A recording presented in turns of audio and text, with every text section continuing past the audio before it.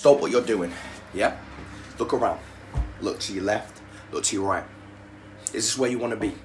Yeah? Um, I believe uh, in life. Yeah? If you do what's easy, then life's going to be hard for you.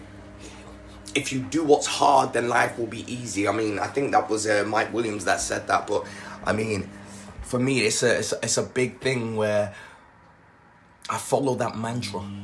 I follow that instructions because a lot of us are unhappy in a job that we do on a daily basis, but are too scared to leave or do because of commitments or whatever. I get that. But if you want to be happy in life, you need to sometimes go out on that limb. Do that thing that the others won't do. That's what will set you apart. I think it was Dr. Peel that said, um, always strive for the top because the bottom is crowded. Do you know what I mean? Uh, it's it's like all right. Let me hit you with a gem. Life is about being happy.